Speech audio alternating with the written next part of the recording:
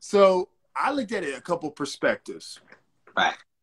And I think, uh, in my opinion, I think Rachel Nichols was warranted for what for how she felt and everything yes. because at the end of the day, man, this is why I look at it like this. That you she she won, she lost a she lost a job that she wanted. How many of us would be would be pissed off if we lost a job? So that's right. number one. She lost her job too. Right. And and I was talking to my god brother about it, man. And to me personally, I think she sees the end of the light for her career with ESPN.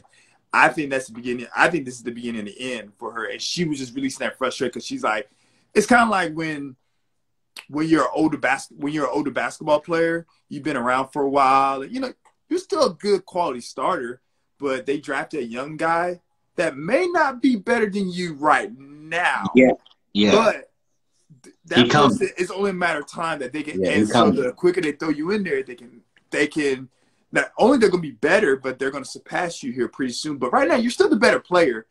It's just that hey man, you're you know, you only got we don't know how long you're gonna be around. Like mm. so and they they bench you for that person.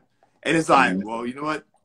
This is the end. Because when that starts happening, like it's on map time, man. Like you, you're gonna go to another team, and you're you, you might be able to start for a bad team, or more likely you're not gonna be starting no more. So I think in that situation, that's what happened with her rant, her venting, and stuff like that. So I agree. Uh, I think the only thing she did wrong mm-hmm. is when she spoke about race. Right. If she if she would have left the oh you're doing it because I want I don't want to misquote her because you have a crappy history with diversity so if you're gonna give it to her for that, do it, but just don't do it on my time. Got how she ended it. Yeah, I heard. That's where she messed up. So because I'm listening to the rant, and then when she got to that part, I was like, uh, and I didn't really take too much offense to it because I don't, I didn't, it didn't, it didn't sound malicious, right? But you, you, you, you can't you can't say that. You know, like you can't. There's certain things you can't bring up race. You can't bring up the fact me as a male can't bring up a female. You can't bring up uh, sexual orientation. Like you can't use that as your reasoning for not getting the job uh, when it's recorded. Given she didn't know she was being recorded, right? But when it's recorded, because now, now it's an HR issue. So if she would have left that part out, I honestly think it would have just been beef between her and Maria, but it wouldn't have been nothing that a disciplinary action should have taken place. But as soon as I heard that part, I was like, oh yeah, they they, they got to do something. I was so, like, because public opinion. So uh, I'm actually I'm actually going to push back. So here's my thing. I think she was okay to say that. I think uh, I think she was one. I think she was okay to say it. because here's the thing. So I'm looking at it like this, and I was telling my guy brother because we, we were looking at two different uh two different perspectives. I told him this. It's kind of like this. Look here, ESPN. We know your history of diversity. We know you've been horrible with hiring black people, uh, hiring women, doing this stuff. You know, for black for black people and women of uh, women and black people in general, well, people of color in general. Now you have a ch- now with all this pressure coming from with the whole, you know, with Cap, you know, the Cap, George Floyd, all those things now it's been brewing now. You feel impelled now and be like, hey, look what we're doing. Where you have this 20 plus years of BS where you you've you've ignored it. Now you got a little pressure. Now you want to act right.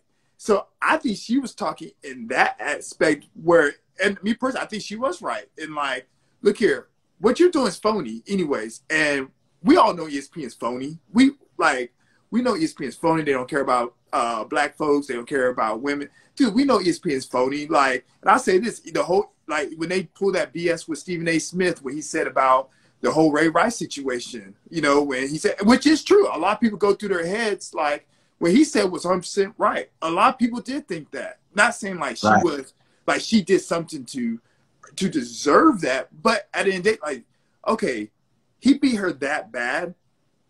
What was done for him to get to that point?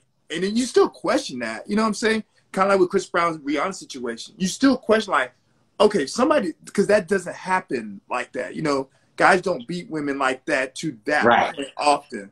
So, but you know, you know what ESPN did? They made Stephen A. They suspended Stephen A. Smith. They let Michelle Beadle say her BS. They suspended him.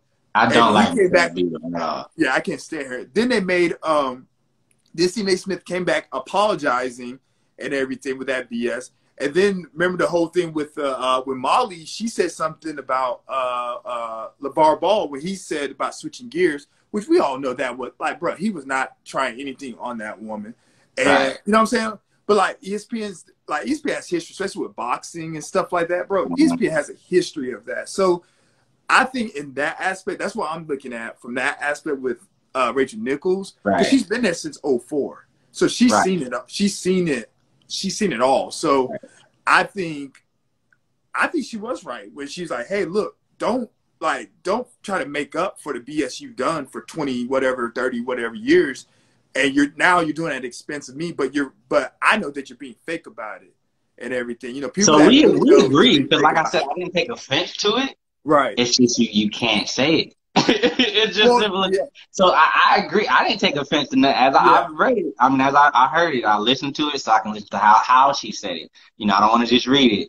So when I heard it, I was just like, yeah, I don't see nothing wrong there. But in my head, you got to think HR. You know, HR, maybe that's the corporate in me, but HR, like I, I, I put on my HR hat and I was like, you still just can't say that. Yeah, yep. You know, like, and, that that was the issue. So, like, for instance, say you know you at your job, say you get a uh, a promotion, and you know you're one. I don't know. I'm, you're pretty sure you're one of the only black people there. And somebody comes out and says, "Oh, they just did that because they they don't they have a bad history of hiring black guys, so that that's why he got the position." It's gonna, in a way, it belittles how hard you work for it. Right. And it could it be true? It could be true, mm-hmm. but it's belittling how hard you work for it. You're not going to be okay with that. And then if nothing happened to that person, now you're going to kind of look at your company like, well, dang, y'all let this dude say this and y'all ain't do nothing about it. You know, y'all y'all ain't say a thing. So I, they put, she put ESPN between a rock and a hard place with that comment. Because mm-hmm. I agree. I don't think it was wrong. You know, I don't think it was malicious. I don't think it was racist. You know, I don't think anything like that. Right. I just think that you, it's just one of them things you can't say. You, you could feel it. You could feel that way. You just can't say.